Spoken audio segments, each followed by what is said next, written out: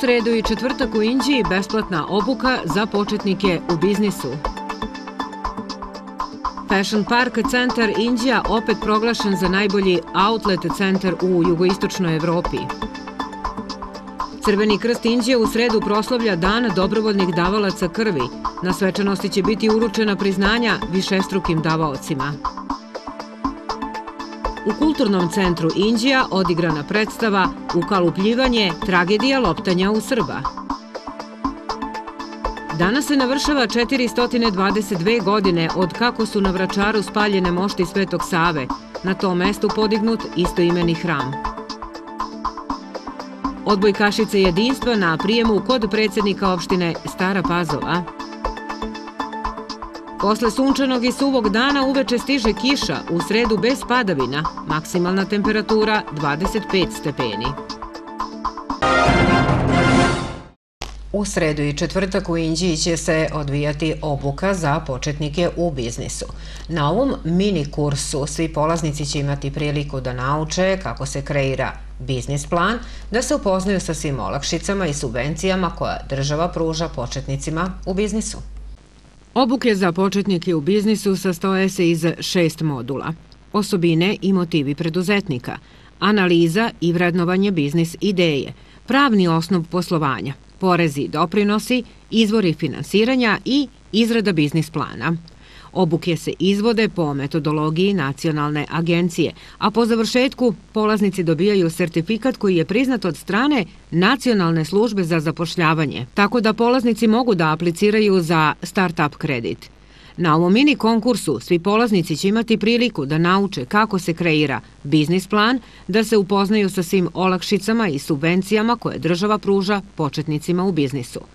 Obuka je besplatna, a cilj je da mladi brži lakše pokrenu sobstveni posao. Inače, obuka se realizuje u okviru programa standardizovanog seta usluga za mikro, male i srednja preduzeća i preduzetnike u 2016. godini. Organizatori ove besplatne obuke su Kancelarija za mlade opštine Indija i Regionalna razvojna agencija Srema. Pokrajinski zaštitnik građana, ombustman, primaće stranke u prostorijama opštine Pećinci u sredu 11. maja u vremenu od 10 do 11 časova. Pokrajinski zaštitnik građana štiti ljudska prava i slobode od povreda učinjenih od strane pokrajinske ili opštinske uprave, kao i organizacija javnih službi čiji je osnivač pokrajina, odnosno opština.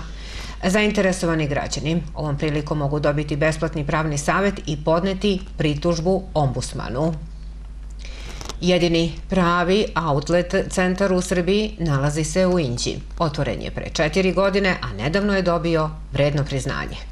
Fashion Park Outlet Centar Indija proglašen je za najbolji outlet centar u jugoistočnoj Evropi na 11. godišnjoj dodeli nagrada za nekretnine održanoj u Bukureštu. Ovo je već druga godina za redom da Fashion Park prima nagradu za najbolji outlet centar u jugoistočnoj Evropi, čime potvrđuje svoju lidersku poziciju na tržištu. Prošle godine ova nagrada dodeljena je na 26. Međunarodnom sajmu nekretnina u Kanu. Fashion Park Outlet Centar otvoren je 2012. godine i od tada radi kao jedini pravi outlet centar u Srbiji. Ceo kompleks sastoji se od 15.000 kvadratnih metara, a za sve posetioce obezbeđeno je 1200 parking mesta. Za prve četiri godine poslovanja Fashion Park ugostio je preko 4 miliona posetilaca, čime se svrstao među omiljene destinacije za kupovinu i izlet van grada kako za domaće, tako i za strane posetioce. Danas je počela isplata penzija preko tekućih računa banaka. Od srede startuje dostava na kućnu adresu kao i isplata na šalterima pošta, a penzioneri dobijaju prvi deo čeka za april.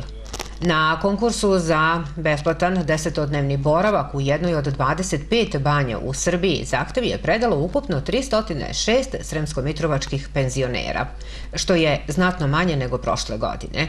A pravo su imali oni čija je penzija manja od 23.463 dinara.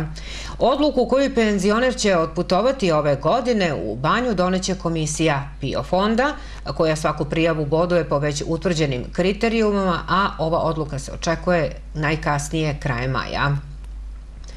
U toku je obeležavanje nedelje Crvenog krsta. Inđiska organizacija će u sredu proslaviti Dan dobrovoljnih davalaca krvi od 17 sati u Kulturnom centru. Na svečanosti će biti uročena i priznanja višestrukim davaocima krvi. Srpska pravoslavna crkva obeležava 422 godine ospaljivanja moštiju prvog srpskog arhijepiskopa Svetog Save na Vračaru. Sveti Sava, Rasko Nemanjić, preminuo je 1236. godine u Trnovu, u Bugarskoj, kada se vraćao sa hodočašća u Jerusalimu. Njegove mošti je u manastir Mileševu preneo njegov nećak kralj Vladislav. U srednjovekovnoj Srbiji mošti Svetog Save imale su veliki značaj, posebno u vreme turskog ropstva. Narod se okupljao nad moštima ovog svetitelja da traži utehu i lek – Bojeći se da se sa tog mesta ne digne pobuna protiv Turaka, Sinan Paša Beogradski naredio je da se mošti prvog arhijepiskopa autokefalne srpske crkve prenesu u Beograd i na Vračaru spale 10. maja 1594. godine. Osnovni razlog je, kako navode istoričari, ustanak Srba u Banatu iste 1594. pod vojstvom mitropolita Vršačkog Teodora – Zabeleženo je da su ustanici nosili zastavu sa likom Svetog Save, pa je pojava njegovog lika na ratnim zastavama uslovila odluku turskog paše. Telo svetitelja je spaljeno, ali je iz tog plamena iznikla nova snaga koja je i danas prisutna u srpskom narodu i njegovom pristupu pravoslavnoj veri. Na mestu gde su spaljene mošti Svetog Save podignut je istoimeni hram. U Kulturnom centru Indija odigrana je predstava Ukalupljivanje, tragedija loptanja u Srba po tekstu Indžica Strahinje Mađarevića.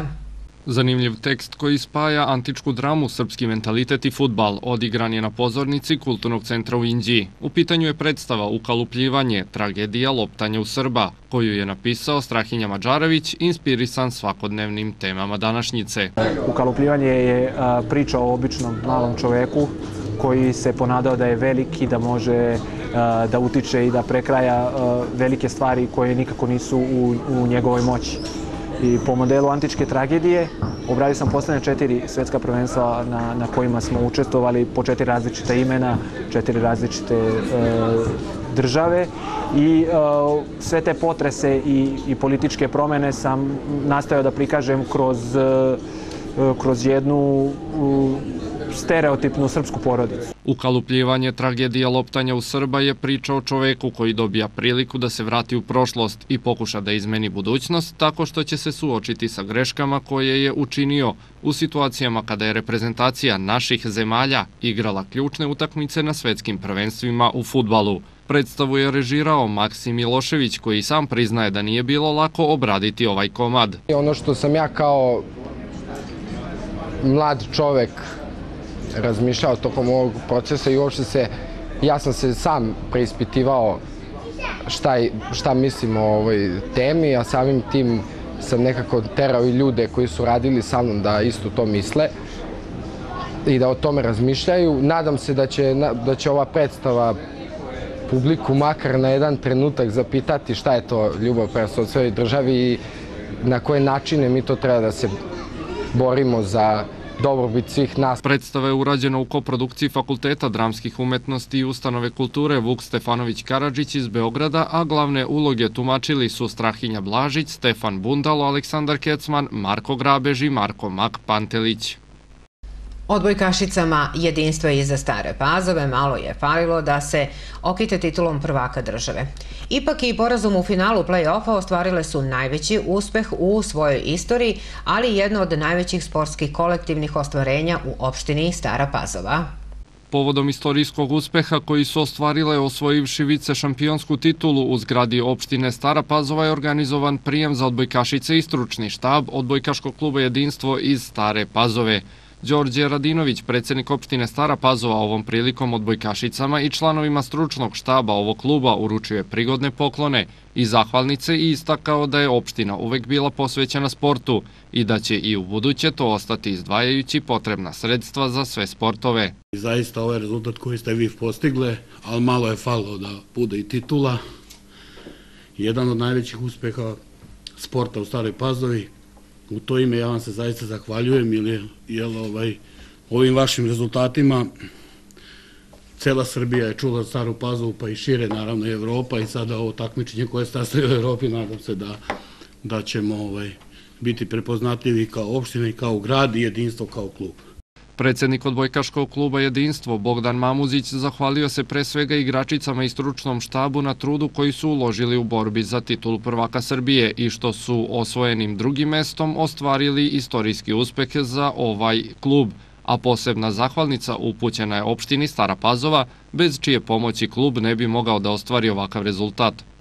Mislim da su devojke 9 meseci, 4 sata dnevno provodile u sali i da su u zadnjoj utakmici dali svoj maksimum i pokušale da dostignu najveći trofej ove države. Malo je falilo. E, ja sam im posle utakmice čestitao i zahvalio se na trudu, energiji, volji, želji, radu svih devet meseci pre toga njima, stručnom štabu i publici koja nas je tamo nosila, koja je bila naš dodatni igrač. Jedinstvo je u finalu play-offa poraženo u pet mečeva od Beogradske vizure. U odlučujućoj utakmici igran je taj break, a malo sreće je nedostajalo da se Pazovčanke okite i titulom. Bodostaji na rekama u Sremu su u manjem opadanju. Sava kod Mitrovice na koti 469 cm, a Dunav kod Slankamena 2 metra i 75 cm. Posle sunčanog, toplog, a pre svega suvog dana uveče stiže na oblačenje. Mestimično sa kišom, ponegde će biti pljuskovi i grmljavina, a kišni oblaci su mogući u toku noći.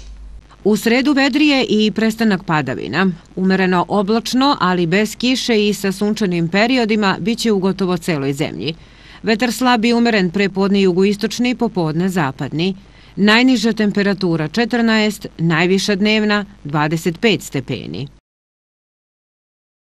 U četvrtak i petak će biti promenjivo oblačno, umereno toplo, mestimično kiša, pljuskovi i grmljavina.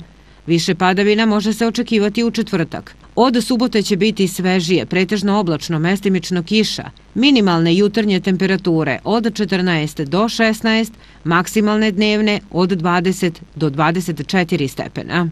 Polenske reakcije do 16. maja. U ovoj sedmici prognoziraju se niske koncentracije polena na čempres, jasen, hrast i koprivu, koje kod izuzetno osetljivih osoba mogu izazvati alergijske reakcije. Oko 14. maja biće izražene umereno visoke koncentracije polena na travu i brezu. Usled očekivane biometeorološke situacije u sredu 11. maja, srčanim bolesnicima kao i osobama sa respiratornim tegobama i varirajućim krvnim pritiskom se savetuje izvestan oprez. Od meteoropatskih reakcija mogući su osjećaj malaksalosti, promenjivo raspoloženje i glavobolja. Neophodna je povećana pažnja svim učesnicima u saobraćaju. A sve više ljudi obraća pažnju na bioprognozu koja nagoveštava kakav uticaj vremenske prilike mogu imati na zdravlje hronično obolelih, ali i zdravih osoba. Da vreme, da vreme ima uticaj na zdravlje i raspoloženje nije mišljenje savremenog doba, već je poznato od davnina. Poslednjih godina vremenske prilike se sve više menjaju, skoro da nema granice između četiri godišnja doba i nema postepenog prelaska iz jednog u drugo, što bi omogućavalo našem organizmu da se prilagodi. Nagle promene vremena većina ljudi lako podnosi, ali je sve više onih kojima one ne prijaju. Naročito starijim osobama i osobama koje pate od hroničnih obolenja. Reakcije ljudi na nagle klimatske promene nemaju karakteristike klasičnog oboljenja, kažu stručnjaci, niti je tačno poznato zbog čega se javljaju. Smatra se da određene električna zbivanja u atmosferi deluju na organizam osetljivih osoba, izazivajući niz reakcija, na primjer lučenje nekih hormona ili utiču na pojedine tkiva i organe. One mogu da izazovu i promene krvnog pritiska, otežano disanje, asmatične napade, migrenozne glavobolje kao i razdražljivost, epileptični napad pa i infarkt miokarda ili moždani udar. Hronični bolesnici najintenzivnije reaguju naročito na nagle promene atmosferskog pritiska kao i temperaturnih oscilacija. Reumatičari, naročito oboleli od degenerativnog reumatizma, imaju bolove i često otoke u bolešću zahvaćenim zglobovima. Oboleli od nekih sistemskih oboljenja vezivnog tkiva veoma su osetljivi na niske temperature, dok srčani bolesnici posebno teško podnose hladno i vetrovito vreme. Na njih loše deluju niske ili izrazito visoke temperature. Bolesnici sa smetnjama organa za disanje, posebno sa bronhijalnom astmom i obstruktivnom bolešću pluća, teško podnose hladno, vlažno i maglovito vreme. Oni su zimi osetljivi na virusne infekcije, a u proleće na dejstvo alergena. Osedljive osobe, koje nazivamo meteoropatama, mogu da imaju izražene simptome kao što su napetost, nesanica, poremeće koncentracije, glavobolju i varijacije krvnog pritiska. Ukoliko spadamo u ove kategorije ljudi, da bi sprečili ili pak ublažili ovakve tegobe, pre svega treba da vodimo zdrav život, da se pravilno hranimo, izbegavamo masne, začinjene i preobilne obroke, uzimamo dosta vode, prirodnih sokova i čajeva, izbegavamo konzumiranje alkoholnih pića i pušenje, boravak u zadimljenim, zagušljivim prostorijama. U sredu i četvrtak u Inđiji besplatna obuka za početnike u biznisu. Fashion Park centar Indija opet proglašen za najbolji outlet centar u jugoistočnoj Evropi. Crveni krst Indije u sredu proslavlja Dan dobrovoljnih davalaca krvi. Na svečanosti će biti uručena priznanja višestrukim davaocima. U Kulturnom centru Indija odigrana predstava Ukalupljivanje tragedija loptanja u Srba. Danas se navršava 422 godine od kako su na Vračaru spaljene mošti Svetog Save, na tom mestu podignut istoimeni hram. Odbojkašice jedinstva na prijemu kod predsednika opštine Stara Pazova – Posle sunčanog i suvog dana uveče stiže kiša, u sredu bez padavina, maksimalna temperatura 25 stepeni. Danas je utorak 10. maj. Pratili ste Srem dana sa centralno informativnu emisiju na programu radio televizije Mega iz Indije. Televizijska repriza je večeras u pola 10 i sutra ujutru u pola 8. Svakog radnog dana u 18 sati je TV premijera, a u 4 popodne slušajte na našem radioprogramu Srem danas. Do gledanja i slušanja.